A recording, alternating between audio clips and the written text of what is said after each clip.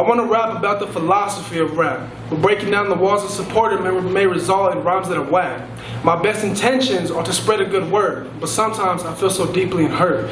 It's like, God, I can't focus. I don't know where I'm going. Where the fuck is my opening? I'm lost in this haze, And I'm amazed in my own head, because my only enemy that's gonna hold me back is my own fucking brain.